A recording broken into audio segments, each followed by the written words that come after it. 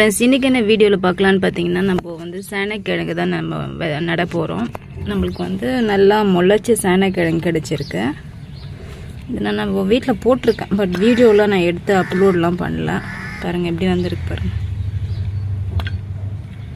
வாங்க இப்போ நான் பேக் ரெடி பண்ணியிருக்கேன். அதை நடுவு செஞ்சுக்கலாம்.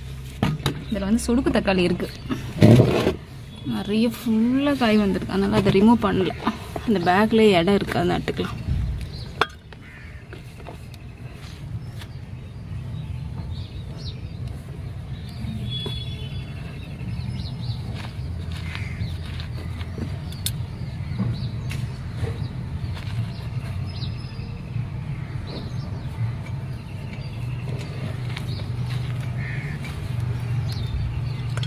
இதுங்க நான் ஃபுல்லாக நட்டு முடிச்சுட்டு. ஃப்ரெண்ட்ஸ் ஃபுல்லாக நட்டு முடிச்சிட்டு நான் இதை முளைச்சி வந்த பிறகு உங்களுக்கு காட்டுறேன். இன்னும் கொஞ்சம் இருக்குது மீதி இடம் இருக்கிற பேக்கில் நட்டலான்னு இருக்கேன். ஃப்ரெண்ட்ஸ் நம்ம வந்து சேப்பங்கிழங்கு போட்டு பார்த்திங்கன்னா பதினஞ்சு நாள் ஆயிருக்கு. நட்டு நம்ம விதை கிழங்கு நட்டு வச்சு பதினஞ்சு நாள் ஆயிருக்கு. நல்லா வந்திருக்கு.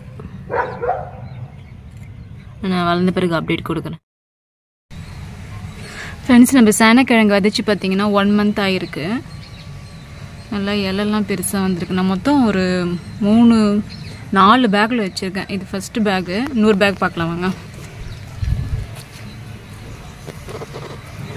இதில் எல்லாம் பெருசு பெருசாக இருக்குது இலை இதில். ரெண்டாவது பேக்கு மூணு இதில் சின்னதாக இருக்குது இது நாலு. இன்னும் நான் இது வளர்ந்த பிறகு உங்களுக்கு காட்டுறேன்.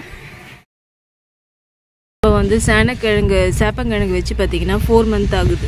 பட் ஆனால் பார்த்தீங்கன்னா செடியெல்லாம் வந்து காஞ்சி போயிட்டுருக்கு இந்த பேக்கில் இந்த பேக் நம்ம இன்னைக்கு எடுத்துடலாம். இந்த பேக்கும் இந்த பேக்கும் ரெண்டு பேக் மட்டும் நம்ம இன்றைக்கி எடுக்கலாம். இன்னும் ஒரு மூணு பேக் இருக்குது அது வந்து அப்புறமா எடுக்கலாம். இப்போதைக்கு இன்றைக்கி வந்து ரெண்டு பேக் நம்ம ரிமூவ் பண்ணலாம். நல்லா இதில் தண்ணி போட்டு நல்லா ஊற விட்டுடலாம். அதுக்கப்புறமா எடுக்கலாம். இதில் வந்து ஒரு சுண்டக்காய் செடி கூட வந்துட்டுருக்குது. நாலு மாசத்துல வந்துட்டுருக்கு.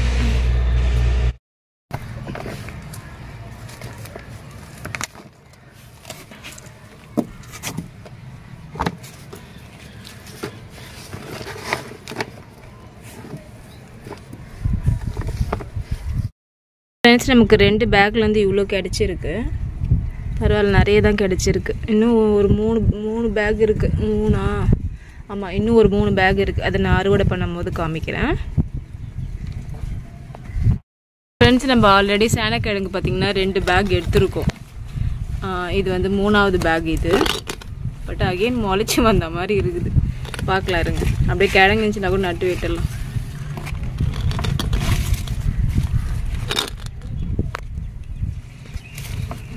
கொடுக்கு தக்காளி. சரி.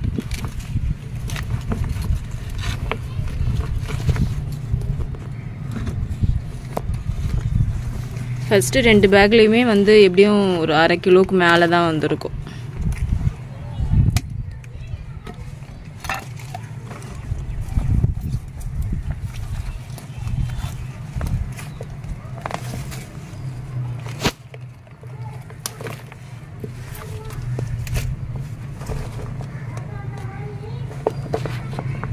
இருங்க ஃபுல்லாக எடுத்துகிட்டு எவ்வளோ வந்திருக்குன்னு பார்க்கலாம்.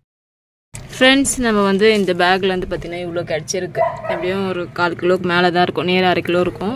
பட் வந்து கொஞ்சம் முன்னாடியே நான் எடுத்துருக்கணும்னு நினைக்கிறேன். இங்கே பாருங்கள் காய் கிழங்குலாம் நிறைய முளைச்சி வந்துட்டுருக்கு. இன்னும் ரெண்டு பேக் இருக்குது அது ரெண்டுத்தையும் அறுவடை பண்ணிட்டு ஃபுல்லாக நான் உங்களுக்கு அப்லோட் பண்ணுறேன் ஃப்ரெண்ட்ஸ் நம்ம ஆல்ரெடி மூணு பேக் நம்ம வந்து சேப்பங்கிழங்கு எடுத்தாச்சு. இப்போ வந்து பார்த்திங்கன்னா இன்னொரு பேக் தான். அது ஆல்ரெடி வந்து ஒரு கிலோ கிட்ட நம்ம வந்து அறுவடை பண்ணியிருக்கோம். இப்போ வந்து நாலாவது பேக் வாங்க எவ்வளோ இருக்குன்னு பார்க்கலாம்.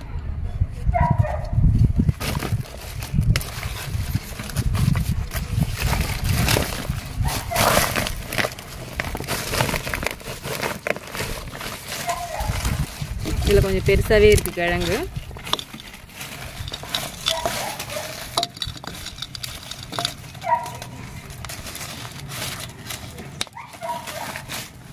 அறுவடை இவ்வளோ கிடைக்கும்னு எதிர்பார்க்கல. நிறைய கிழங்கு வந்திருக்கு.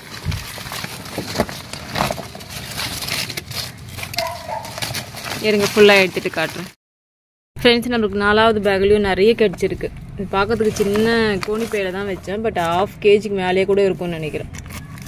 உள்ளே வந்திருக்கு பாருங்கள் இன்னும் ஒரு பேக் இருக்குது அதுவும் நான் ச அறுவடை பண்ணிவிட்டு ஃபுல்லாக அப்லோட் பண்ணுறேன்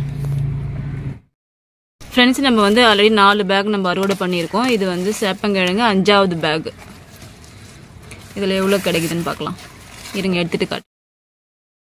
நம்மளுக்கு லாஸ்ட் பேக்கில் வந்து நிறைய கிடைச்சிருக்கு. எப்படியும் ஒரு கிலோக்கு இருக்கும்னு நினைக்கிறேன்.